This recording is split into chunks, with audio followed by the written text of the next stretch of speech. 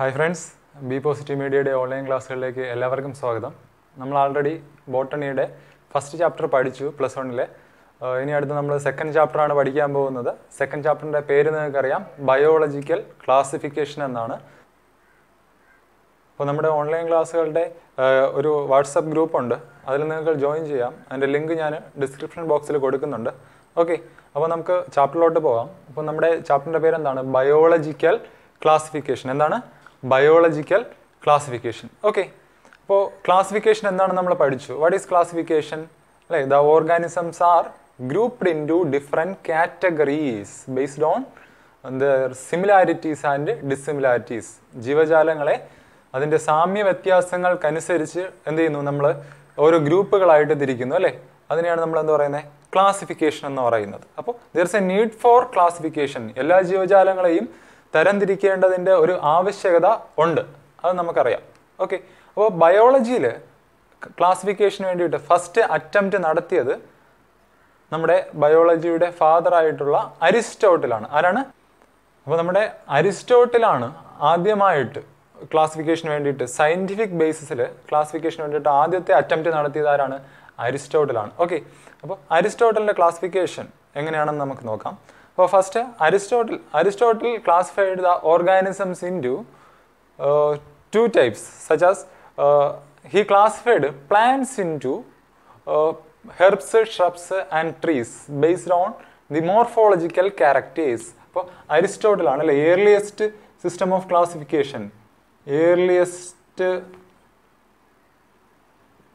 classification നടത്തിയത് ആരാണ്? അരിസ്റ്റോട്ടിലാണ്.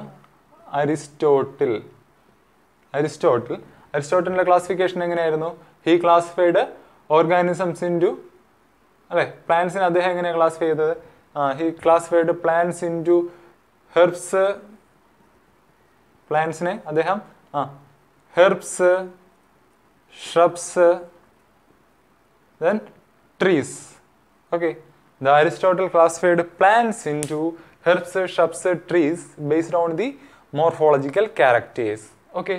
Then he classified the animals into those who have uh, rbc and without rbc അതായത് ജീവജാലങ്ങളെ ചുവന്ന രക്തമുള്ളവയെന്നും ചുവന്ന രക്തമില്ലാത്തവയെന്നും രണ്ടായിട്ട് തിരിച്ചു. നമുക്കറിയാം ആർ ബി സി ആണ് എന്ത് ചെയ്യുന്നേ? ചുവന്ന കളർ കൊടുക്കുന്നത് അല്ലേ? അതായത് ചുവന്ന രക്തം അല്ലേ? കാരണം ആർ ബി സിയിലാണ് ഹീമോഗ്ലോബിൻ ഉള്ളത്. ഓക്കെ. അപ്പോൾ ആർ ബി സി ഉള്ളവയെന്നും വിത്തൗട്ട് ആർ ബി സി എന്നും ആർ ബി സി ഇല്ലാത്തവയെന്നും രണ്ടായിട്ട് തിരിച്ചു. ഓക്കെ. അപ്പോൾ ആദ്യമായിട്ട് ക്ലാസിഫിക്കേഷൻ നടത്തിയ ആരാണ്? ഇയർലിയസ്റ്റ് അറ്റംപ്റ്റ് നടത്തിയത് അരിസ്റ്റോട്ടിലാണ്. He classified organisms into two പ്ലാന്റ്സിനെ എങ്ങനെയാണ് ക്ലാസിഫൈ ചെയ്തത് he classified plants into herbs shrubs trees based on the morphological characters അല്ലെ? മോർഫോളജിക്കൽ ക്യാരക്ടേഴ്സ് എന്ന് പറഞ്ഞാൽ ഒബ്സർവബിൾ ക്യാരക്ടേഴ്സ് പുറമേ നമുക്ക് കാണാൻ പറ്റുന്ന വിസിബിൾ ആയിട്ടുള്ള ക്യാരക്ടേഴ്സ് ഏതൊക്കെയാണ്? ഹെർബ്സ് എന്നും ഷബ്സ് എന്നും ട്രീസ് എന്നും. ഇനി അനിമൽസിനെ ക്ലാസിഫൈ ചെയ്ത് ഏത് ക്രൈറ്റീരിയ വെച്ചിട്ടാണ് അനിമൽസിനെ ക്ലാസിഫൈ ചെയ്തത്? ആ ചുവന്ന രക്തമുള്ളവയെന്നും ചുവന്ന രക്തം ഇല്ലാത്തവയെന്നും അല്ലേ? അതായത് those who have red blood cells those who does not have R B C അങ്ങനെ രണ്ടായിട്ട് എന്ത് ചെയ്തു? ക്ലാസിഫൈ ചെയ്തു. അപ്പോൾ നമുക്കറിയാം ഇതൊരു കംപ്ലീറ്റ് ആയിട്ടുള്ള ഒരു ക്ലാസിഫിക്കേഷൻ അല്ല അല്ലേ? ദെൻ അടുത്ത് നമ്മുടെ കോൾ ലിനേസിന്റെ ടൈം വന്നപ്പോഴത്തേക്കും അദ്ദേഹത്തിന്റെ കാലഘട്ടത്തിൽ അദ്ദേഹം അടുത്ത ക്ലാസിഫിക്കേഷൻ നടത്തി. അദ്ദേഹത്തിന്റെ ക്ലാസിഫിക്കേഷൻ ആണ് ടു കിങ്ഡം ക്ലാസിഫിക്കേഷൻ എന്താണ്? ടു കിങ്ഡം ക്ലാസിഫിക്കേഷൻ കേട്ടോ two kingdom classification. The two kingdom classification was done by Cole Linnaeus. Cole Linnaeus. കേട്ടോ two kingdom classification was done by Cole Linnaeus. Okay, Cole Linnaeus classified the uh, organisms into two kingdom such as kingdom plant and kingdom Animalia ഏതൊക്കെയാണ്? Two kingdom classification എങ്ങനെയാണ്? Two kingdom classification kingdom plant kingdom plant and kingdom Animalia okay Animalia നമുക്കറിയാം. Kingdom is the highest level of classification അല്ലേ? Kingdom ആണ് നമ്മുടെ taxonomy ഹയറാർക്കിയിലെ ഏറ്റവും highest level of classification എന്ന് പറയുന്നത്. അപ്പോൾ ഇവിടെ the kingdom Plantae consist of all plants and the kingdom Animalia consist of all animals അങ്ങനെ അദ്ദേഹം എത്രയായിട്ട് തിരിച്ചു? രണ്ട് കിങ്ഡമായിട്ട് തിരിച്ചു. പക്ഷേ ഈ ടു കിങ്ഡം ക്ലാസിഫിക്കേഷനും കുറച്ചു പ്രോബ്ലംസ് ഉണ്ടായിരുന്നു. കാരണം എല്ലാ അനിമൽസിനെയും ക്ലാസിഫിക്കേഷൻ ആയിട്ട് നടത്താനായിട്ട് പറ്റിയില്ല അല്ലേ? രണ്ട് കാറ്റഗറീസ് ആയിട്ടാണ് തിരിച്ചത്. ഏതൊക്കെയാ? കിങ്ഡം പ്ലാന്റ് എന്നും കിങ്ഡം അനിമേലി എന്നാണ് തിരിച്ചത്. അപ്പോൾ ഒരു ലാർജ് നമ്പർ ഓഫ് ഓർഗാനിസത്തെ തന്നെ ഏതിലാ? ഓരോ ഗ്രൂപ്പിൽ പോലും പെടുത്താനായിട്ട് പറ്റിയില്ല. വെറുതെ എന്ത് ചെയ്തു? രണ്ട് കിങ്ഡം ആയിട്ടാണ് തിരിച്ചത്. അപ്പോൾ ഒരുപാട് ഡ്രോബാക്സ് ഉണ്ട് ആ ഒരു ടു കിങ്ഡം ക്ലാസിഫിക്കേഷന് അതായത് പ്രോകാരിയോട്ട് എന്നോ യുകാരിയോട്ട് എന്നോ ഒന്നും അദ്ദേഹം എന്ത് ചെയ്തില്ല ക്ലാസിഫൈ ചെയ്തില്ല. അതുപോലെ അവയുടെ ന്യൂട്രീഷൻ ഓട്ടോട്രോപ്പിക് ആണോ ഹെട്രോട്രോപ്പിക് ആണോ ഫോട്ടോസിന്തറ്റിക് ആണോ അല്ലാതെയാണോ എന്നൊന്നും അദ്ദേഹം എന്ത് ചെയ്തില്ല ക്ലാസിഫിക്കേഷൻ നടത്തിയില്ല. അപ്പോൾ അങ്ങനെ കുറച്ച് ഡ്രോബാക്സ് ഉണ്ട്. അപ്പോൾ അതിനുശേഷം മറ്റൊരു സയന്റിസ്റ്റ് ആർ എച്ച് വിറ്റേക്കർ ആരാണ്? R H Whittaker Whittaker classify the organisms into five kingdoms. അപ്പോൾ അദ്ദേഹമാണ് എന്ത് നടത്തിയത്? ഫൈവ് കിങ്ഡം ക്ലാസിഫിക്കേഷൻ നടത്തിയത്. Five kingdom classification. Okay. Five kingdom classification നടത്തിയ ആരാണ്? ആർ എച്ച് വിറ്റേക്കർ ആണ് അല്ലെങ്കിൽ റോബർട്ട് എച്ച് വിറ്റേക്കർ ആണ് ഓക്കെ. അപ്പോൾ റോബർട്ട് എച്ച് വിറ്റേക്കർ ക്ലാസിഫിക്കേഷന് നടത്തിയ എത്രയാണ്? ഫൈവ് കിങ്ഡം ആയിട്ടാണ്. ഓക്കെ. അപ്പോൾ അടുത്ത് നമുക്ക് ഇനി എന്ത് പഠിക്കാം? ആ ഫൈവ് കിങ്ഡവും ആണ് നമ്മൾ ഈ ചാപ്റ്ററിൽ ഡിസ്കസ് ചെയ്യുന്നത്. നമ്മൾ ഈ ചാപ്റ്ററിൽ ടോട്ടലായിട്ട് പഠിക്കുന്നത് ഈ ആർ എച്ച് വിറ്റേക്കറിന്റെ ക്ലാസിഫിക്കേഷൻ ഏതൊക്കെയാണ്? ഫൈവ് കിങ്ഡംസ് ആയിട്ടാണ് നമ്മൾ ക്ലാസിഫൈ ചെയ്യുന്നത്. അതൊക്കെയാണെന്ന് നമുക്ക് പഠിക്കാം. അങ്ങനെ ഡീറ്റെയിൽ ആയിട്ട് ഓരോ കിങ്ഡത്തിലും വരുന്ന ഓർഗാനിസംസ് ഏതൊക്കെയാണ്? ഏത് ക്രൈറ്റീരിയയുടെ ബേസിലാണ് ഫൈവ് കിങ്ഡം ക്ലാസിഫിക്കേഷൻ നടത്തിയത്? തുടങ്ങിയിട്ടുള്ള കാര്യങ്ങളാണ് നമ്മൾ ഈ ചാപ്റ്ററിൽ ഡിസ്കസ് ചെയ്യുന്നത്. ഓക്കെ അപ്പോൾ നമുക്ക് ആർ എച്ച് വിറ്റേക്കറിന്റെ ആ ഒരു ക്ലാസിഫിക്കേഷൻ എന്താണെന്ന് നോക്കാം. അപ്പോൾ R H Whittaker classified the organisms into five kingdoms okay R H Whittaker അഞ്ച് കിങ്ഡം ആയിട്ട് തിരിച്ചു.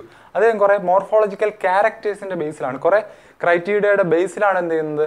ക്ലാസിഫിക്കേഷൻ നടത്തിയത്. അത് ഏതൊക്കെയാണ് ക്രൈറ്റീരിയ എന്ന് നോക്കാം. First one cell structure then thallus organisation mode of nutrition reproduction phylogenetic relationship cell structure അല്ലേ? അത് പ്രോകാരിയോട്ട് യു കാരിയോട്ടാണോ തുടങ്ങിയിട്ടുള്ള കാര്യങ്ങൾ. ദെൻ താലസ് ഓർഗനൈസേഷൻ അവിടെ താലസ് പ്ലാൻ ബോഡി ബോഡിയുടെ അറേഞ്ച്മെന്റ് ആണ് പറയുന്നത് അതിന്റെ organisation then mode of nutrition autotrophic ആണോ? ഹെട്രോട്രോപ്പിക് ആണോ? ദെൻ കീമോസിന്തറ്റിക് ഓട്ടോട്രോപ്പ് ആണോ? തുടങ്ങിയിട്ടുള്ള കാര്യങ്ങളൊക്കെ. ദെൻ റീപ്രൊഡക്ഷൻ സെക്ഷലി ആണോ റീപ്രൊഡ്യൂസ് ചെയ്യുന്നത്? എസെക്ഷലി ആണോ റീപ്രൊഡ്യൂസ് ചെയ്യുന്നത്? അതുപോലെ ഫൈലോജനറ്റിക് റിലേഷൻഷിപ്പ് അതായത് എവല്യൂഷണറി റിലേഷൻഷിപ്പ് തുടങ്ങിയിട്ടുള്ള ഫാക്ടേഴ്സ് വെച്ചിട്ടാണ് ഫൈവ് കിങ്ഡം ക്ലാസിഫിക്കേഷൻ നടത്തിയത്. ആരാണ് നടത്തിയത്? R H Whittaker. ആരാണ്?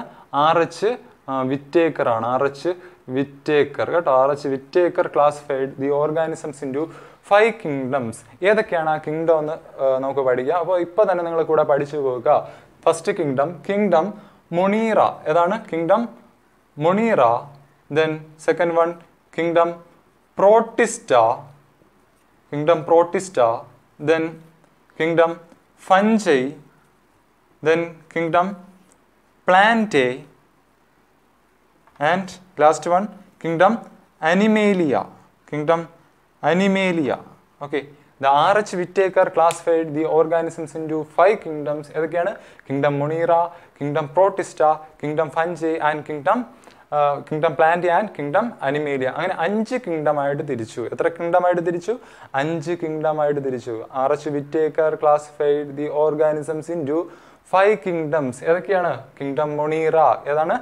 Kingdom Monera Protista kingdom Protista then kingdom Fungi ഏതാണ്? Kingdom Fungi then Plantae kingdom Plantae then Animalia okay then നമുക്ക് ഓരോ കിങ് നമ്മൾ ഈ ചാപ്റ്ററിൽ പഠിക്കുന്നത് ഞാൻ പറഞ്ഞു. ഈ അഞ്ച് കിങ്ഡത്തെ പറ്റിയാണെന്ന് പഠിക്കുന്നതെന്ന് പറഞ്ഞു. ആദ്യം നമ്മൾ മൊണീറയെ പറ്റി പഠിക്കും.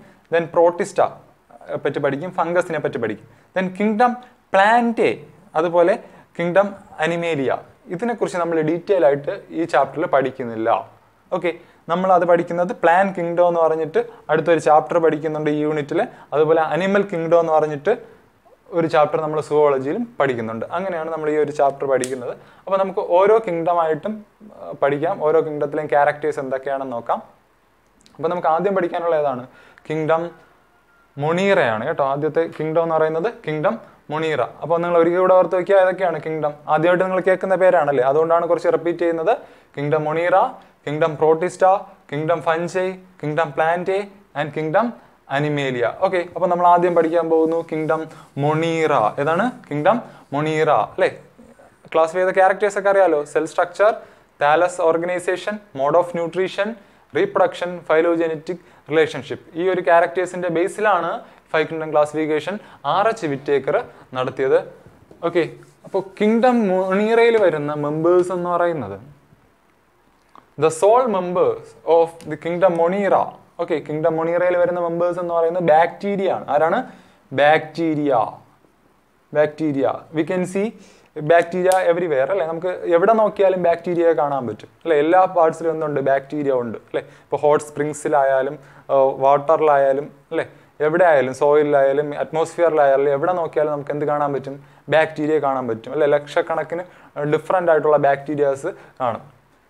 ഹിയർ നമുക്ക് bacterias can be classified into their structure or shape based on their shape the bacteria can be classified into four types ഏതൊക്കെയാണെന്ന് നമുക്ക് നോക്കാം. ബാക്ടീരിയയുടെ ഷേപ്പ് അനുസരിച്ചിട്ട് അവർക്ക് നമുക്ക് നാലായിട്ട് ക്ലാസിഫൈ ചെയ്യാം കേട്ടോ. ഫസ്റ്റ് വൺ കോ